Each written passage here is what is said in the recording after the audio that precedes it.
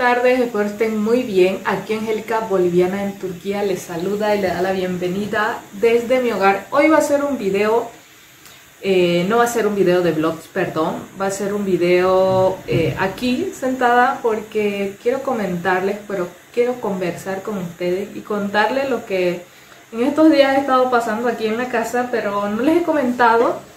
Eh, pero ahora ya lo tengo que sacar dentro de mí porque estoy con un estrés eh, y es necesario sacarlo, es necesario sacarlo para liberar al menos un poco de estrés y pensar siempre positivamente, mi cara se está moviendo, perdón. y bueno, hoy el clima está así, está así nublado, está con viento.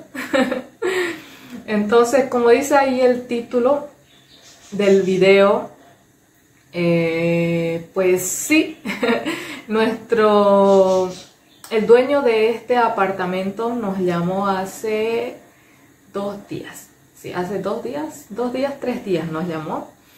Y como aquí en Turquía, para, bueno, contarles cómo es el asunto de los alquileres aquí en Turquía, y cada vez que termina un año y comienza otro, eh, hacen ciertos cambios. Pero he puesto mi caldera, está hirviendo un ratito. Gracias amigos, ya tengo mi cafecito. estaba hirviendo mi caldera, entonces por eso un ratito lo corté. Les estaba hablando justamente de los alquileres aquí en Turquía, que ahora ya como yo vivo en alquiler, eh, tengo conocimiento acerca del tema Aquí en Turquía, eh, respecto a los alquileres, cada año, cuando termina un año, o sea, termina el año, ya para el siguiente año eh, se hace un nuevo contrato y en ese nuevo contrato eh, se acostumbra a aumentarle el alquiler.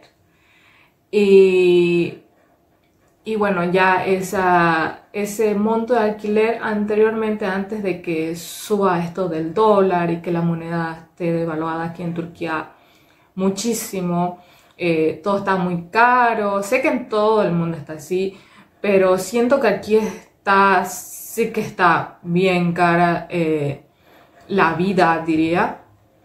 Y ahora los precios de los alquileres están por los cielos, por los cielos. Eh, y entonces, para no pasarme de tema, un ejemplo de un alquiler, pongámosle, tu alquiler era de mil liras. Termina este año tu contrato y al siguiente año, bueno, el dueño habla contigo y te dice, bueno, te voy a subir a 1200, 1300 liras y pues bueno, queda en ese acuerdo. Anteriormente era así, pero ahora, ahora en este 2022, eh, viendo en, las páginas y los alquileres están sumamente caros eh, respecto a, años anteriores, hasta incluso en los barrios más alejados, súper alejados de la ciudad, están casi o sea, no hay una diferencia de un lugar más o menos céntrico y, un lugar más alejado. Es súper mínima la diferencia. Entonces, eh, ahora sí ya les cuento. El dueño de, aquí, del lugar donde alquilamos, nos llamó hace, ya les dije, dos, hace dos o tres días nos llamó. Eh, bueno, le llamó a Gyoka porque tiene su número de Gyoka porque eh, cada mes que nosotros, bueno, pagamos la renta, siempre le mandamos el, un scrunch de del pago y todo eso, bueno, siempre uno tiene que guardar sus papeles. Y entonces a él, a mi esposo le llama y, y, mi esposo dice que, pero si todavía eh, no ha terminado el contrato, pues sí, ya, ya es prácticamente un año, eh, como se ha pasado súper rápido el tiempo. O sea, fue como que si haya sido ayer que nos mudamos y ya es un año prácticamente. Eh, sí, creo que nos mudamos en enero, en enero de este 2022. Ahí voy a fijarme en los videos si ha sido en enero. Y pues aquí como le estaba diciendo se acostumbra a que te llamen, o sea, se acostumbra a que cuando termine el año, al siguiente año ya pues este, se sube la renta, pero eh, la gente como que no era así el super susto de que bueno, bueno, me van a subir una 100, 200 liras. Y bueno, lo llama mi esposo, eh, no lo llama el dueño, lo llama primero el de la empresa que hay empresas aquí, en, otros países igual que alquilan los, bienes, ¿no? Y eh, llamaron de, esa empresa, de la empresa, y le llaman a mi esposo y le dicen, eh, el dueño le ha dicho, me ha dicho que para el siguiente año este es el monto de la renta, de la nueva renta. Y, y eso, ¿no? Y, mi esposo como que se quedó ahí congelado. Y si usted desea, eh, si no está de acuerdo, desea hablar con el dueño, eh, pues que se comunique con él. Y bueno, ya mi esposo le llamó y o sea, primero como que cabizbajo y no me llamó todavía a mí, no me, no me comentó todavía. Y de ahí ya se comunicó con el, con el dueño, ¿no? Para, para decirle, eh, señor tal, eh, me ha llamado de la empresa y me han dicho que este es el precio del, del nuevo alquiler y es demasiado y le dijo, sí, eh, exactamente ese es el precio. Y ya bueno, Gyokan como que, eh, bueno, conversó con él, le dijo si le podía bajar un poco la renta y todo eso. Y le dijo el señor, eh, pues lo voy a ver, le dijo, porque si usted, si usted ve, si usted desea, eh, vean internet los, los precios eh, por el lado, por la zona, bueno, por todo Bursa y el precio que le estoy dando aún así es, bajo, entonces eso le dice y bueno, Gyokan como que ahí, ¿no? Y el dueño le dice, a mí me, me convendría mejor vender el apartamento que como que fue como que algo así de que un mensaje diría subliminal o algo así de que o me da este, este precio de alquiler o vaya y búsquesela por otro lado, algo así, digamos, porque a mí me conviene venderlo el apartamento que voy a ganar más y lo voy a poner al banco y voy a, voy a voy a recibir un porcentaje de ese dinero. No es que hay gente que pone dinero al, banco y recibe un porcentaje por eso.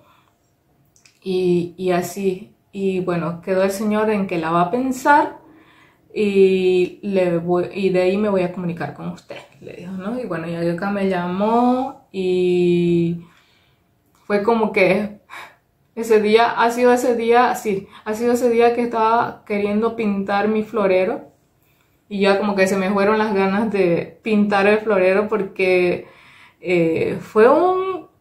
No pensamos que fuera tanto así. Le pongo un ejemplo.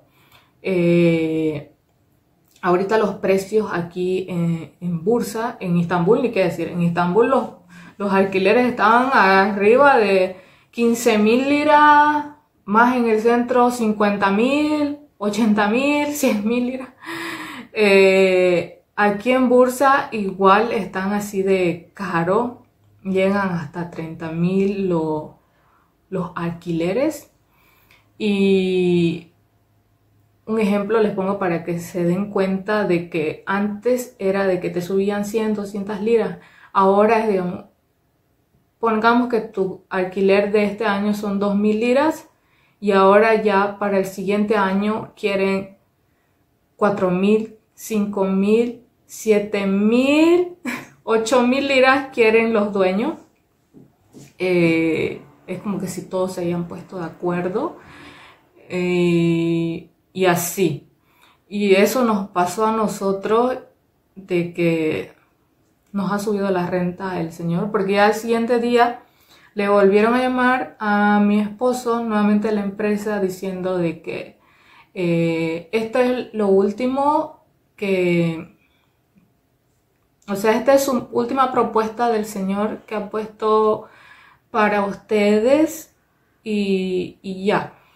Y Yokan nuevamente habló con el dueño. Voy a tomar porque se me acabó mi. Mi. Se me hace mi garganta.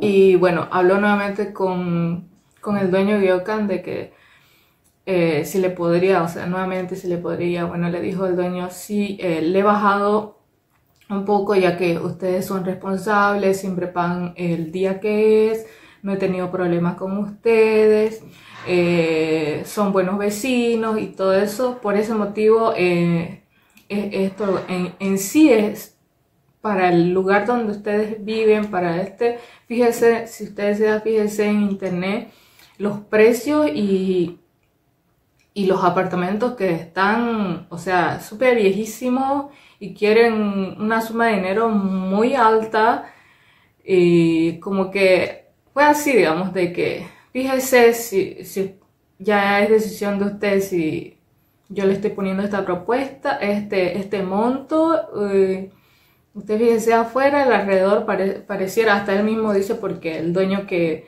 da alquiler no solamente de aquí, igual vende casas, es constructor. Entonces él mismo dice, pareciera eh, un chiste que hasta nosotros mismos no nos acostumbramos a los, a los nuevos precios, dice, ¿no? Y así fue como que es, esta es mi propuesta, si ustedes desean vean afuera, ahora ya hay, antes era como que, me dice yo que antes era como que las personas, digamos, que le subían a sus alquileres y eran como que un poco elevados, ya había muchos alquileres este, más barato, entonces ¿qué hacía la gente? Pues eh, le convenía salirse e irse a otro alquiler más barato, en cambio ahora no hay esa opción, no hay muchos alquileres, ¿por qué? Porque la gente no quiere salir porque sabe que no va a encontrar otro alquiler eh, del lugar donde están viviendo eh, o de la zona o, tal vez un poco más céntrico. no van a pillar porque están así por las nubes. Le voy a poner incluso unas fotitos aquí para que ustedes me crean y vean que realmente aquí el, con, la, con lo que se ha devaluado el dólar o la lira, perdón, los precios están súper caros y así amigos, así que estuvimos con eso y pues ya eh, se ha quedado en un acuerdo y pues nos vamos a quedar, pero fue así como que el señor, a mí me conviene mejor venderla y que está recibiendo esta cantidad, algo así. O sea, no, no lo dijo sálganse, pero fue como que algo así, digamos, ¿no? Y, y esos amigos, así que ahora eh, quedamos en ese acuerdo, nos vamos a quedar aquí todavía este nuevo año y a seguir trabajando, a seguir trabajando, ser positivo. Realmente aquí en Turquía eh, ha cambiado bastante después, después de la pandemia, diría, después de la pandemia, como en todos lados.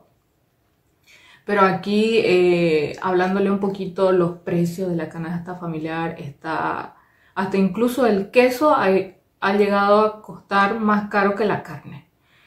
Eh, la mantequilla, o sea, vas y compras una, dos, tres cosas, ya son 200 liras, o sea, todo, todo ha subido, entonces por eso es que también Ahora ya la, la con el tema de la inflación es como que el 100, 120% incluso llegó a llegar el otro día. O, sea, por encima del, del, del 100%. Y, y, eso, amigos. Así que esa es el, la, lo que quería sacármelo de aquí, contárselos, comentárselos a ustedes de cómo está la situación aquí en Turquía. Claro que la gente que viene con, con dólares de, para pasear, obviamente que sí les da, sí les da para vacacionar tranquilamente porque lo cambian a lira y sí se puede ver una, diferencia. Y eso amigos, así que yo voy a tomar mi cafecito, me voy a relajar un poquito y a ser positivos de que tenemos buena salud, siempre Dios va a estar con nosotros y a trabajar porque somos jóvenes y, y eso, amigos, quería comentarles a, ustedes que, bueno, fue como que te corro pero no te corro, algo así. Eh, ayer sí estaba como que, estaba, no grabé absolutamente nada porque estaba pensando mucho, mucho, mucho y eso no es muy bueno. Así que hoy me levanté y dije, Angélica, mente positiva, eh, agradecer que a Dios que tenés buena salud y que no te falta el pan de cada día. Y, y eso, amigo, hacer positivo en estos casos. Es mi primera vez, al igual que mi esposo, que vivimos en alquiler y, y no sabíamos cómo era el, el asunto de lo de alquiler. Ahora ya tenemos experiencia, diría yo. Claro que antes era muy diferente a ahora. Ahora, eso me cuenta mi esposo. Y, así, amigos. Así que me despido. Nos estamos viendo ya en un siguiente vlog. Eh, ya en un blog ya más tranquila. Ahora sí ya como que, ay, Angélica, ya soltaste lo que tenías, lo que tenías ahí adentro.